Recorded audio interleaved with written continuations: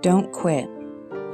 When things go wrong, as they sometimes will, when the road you're trudging seems uphill, when the funds are low and the debts are high, and you want to smile, but you have to sigh, when care is pressing you down a bit, rest if you must, but don't you quit.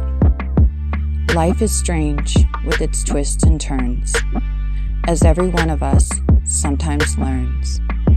And many a failure comes about when he might had won had he stuck it out. Don't give up, though the pace seems slow. You may succeed with another blow. Success is failure turned inside out, the silver tint of the clouds of doubt. And you never can tell just how close you are. It may be near when it seems so far.